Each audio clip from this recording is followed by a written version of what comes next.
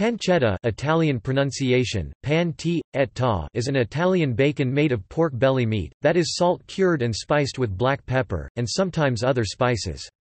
Pancetta in Italy is typically cooked to add depth to soups and pastas.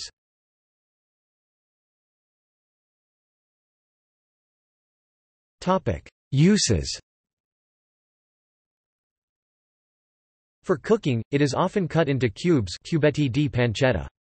In Italy, pancetta is commonly served as a cold cut, sliced thin and eaten raw.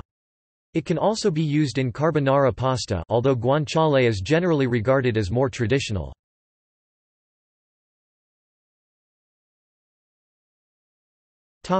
Types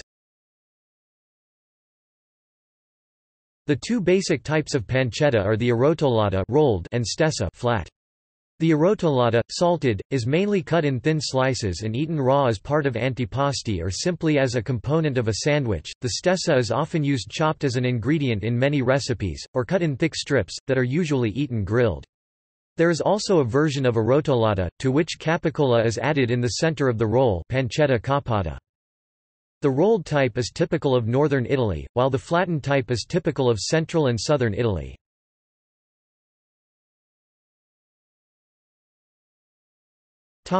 See also. Food portal. Guanciale. Lardo.